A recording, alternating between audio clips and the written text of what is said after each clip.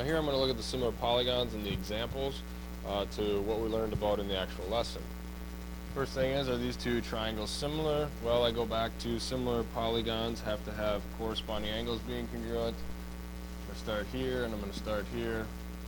They're not congruent, so these triangles are not similar. Say no. Go on to my next one. Now, are these triangles similar? And I'd start off by looking at angle B is yes congruent to angle S. That's a good thing. But now I can't tell if angle C is congruent to angle T or if it's congruent to angle R right away. So at first glance I would say no, there's not enough information.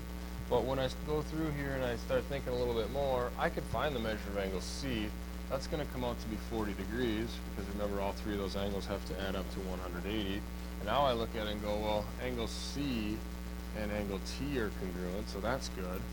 But then I'd go, well, I don't know the measure of angle R right off the top of my head, but I could find it because I do know the two measures um, of angle S and angle T, which is going to allow me to say that this angle measure is going to be 60 degrees. And now I'd go, well, this angle is yes now congruent to this angle. So my angles, my corresponding angles are congruent. There's my first check. Now I got to look at the sides match these up. I'm going to look at my 5.2 unit side. That's going to have to match up or correspond to the 3.9 unit side. Write my two little fraction bars for my other ratios. I'm going to look at the 7, and I also have to have the 8 for my other two. Now, the 7, that one's going to match up with the 5.25. Oh, that's not what I wanted. I don't know what happened there. Well, we try to undo that. Alright, try this again. That has to match up with the 5.25, and the 8 is going to match up with the 6. Now I look at this, and I can't tell if those, those ratios are equal, so I'm going to grab my calculator. Now, when I type these into my calculator, if I take 5.2 and divide it by 3.9, I end up with 1.33, actually 1.3 repeating, so that 3 is going to repeat. This comes out to be 1.3 repeating, just so I don't confuse, I'll make them all look the same. And this one also comes out to be 1.3 repeating, which tells me those are easy now for me to tell they're equal.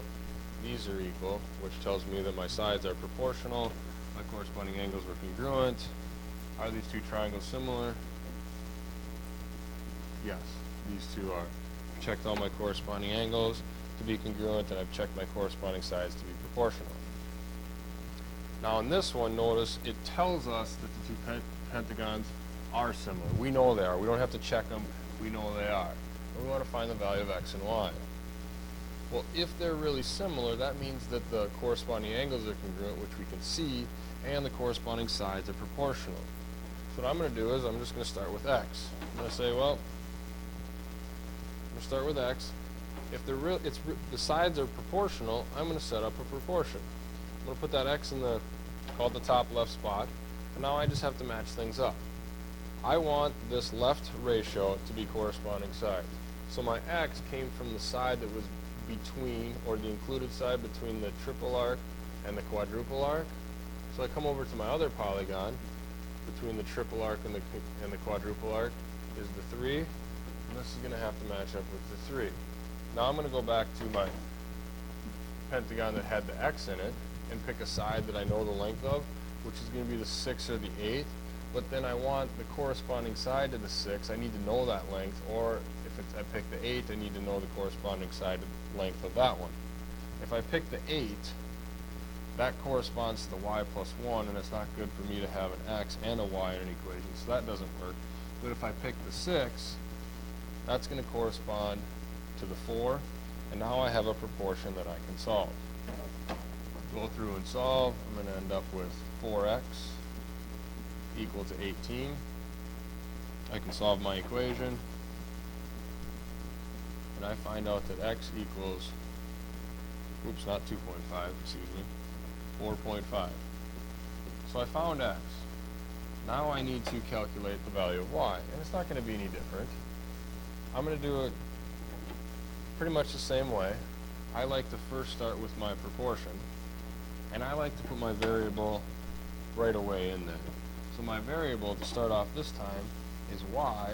Now I look at it and the y plus 1 is the length of one side of my larger pentagon. I have to now find the corresponding side to that in the other pentagon, which would be the 8. So this is going to be over 8.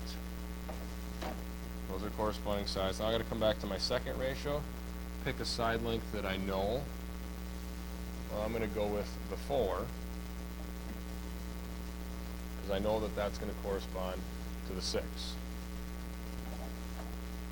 Now I'm going to solve my proportion. Cross multiply. Remember I can take that 6 and multiply by the y and the 1, so I'm going to get 6y plus 1 equal to 32 when I go this way. Continue to solve my equation. Get rid of that 6. Now I have 6y equal to 26. Divide both sides by 6. And I find out that y is equal to 13 thirds. Or if you wanted to convert that into a decimal format, that would be approximately 4.33. And there I found the value of my x and my y, depending on how you want it in fraction format or decimal format. Then my last example here, a little story problem. Um, this one tells us that I have rectangle WXYZ being similar to rectangle PQRS with a scale factor of 1.5. Now this is important on how it's written. This rectangle is similar to this rectangle, which becomes helpful when we look at scale factor. It's right here.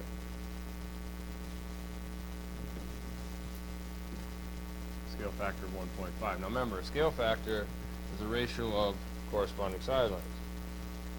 So I have a ratio, I'm going to I'm going to turn it into a what looks more like a ratio, 1.5 over 1. Now remember, this is essentially what I have highlighted up there. I have green to blue.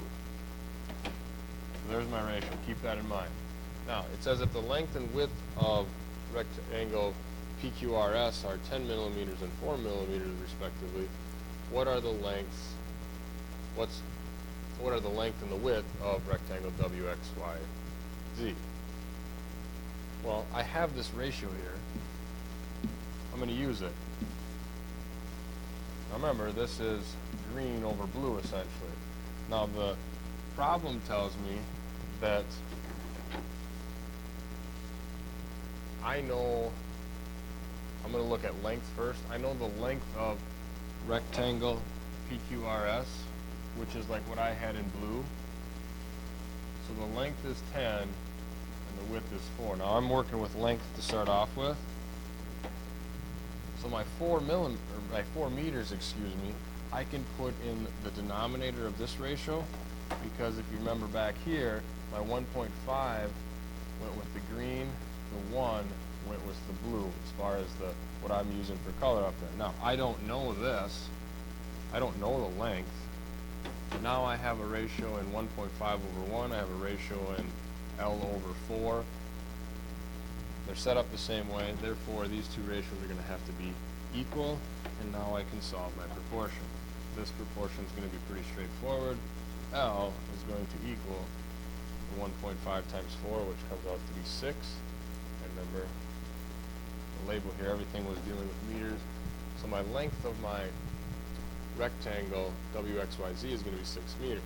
Now I can do the same thing with dealing with the width. I can use this scale factor again, clone it, and I can set up a proportion for this one. Now this time I know that my width is 4 meters for the, called the blue one, or uh, rectangle PQRS. And I'm looking for the width of that rectangle. We know that these ratios have to be equal. Solve my proportion. W, or the width, is going to equal, oh, I screwed that up, didn't I? Well, this is the width, I just did this. This is going to be six meters. Sorry about this, I'm gonna have to go back and do a little fixing, hopefully somebody noticed that. This number right here should have been ten because I was dealing with lengths, which is going to change this. Now I have to take one point five times ten, and the length, sorry about that, should have been fifteen meters. So the length and width of my rectangle WXYZ will be fifteen meters and four meters. And that's going to end my example. Examples dealing with similar polygons.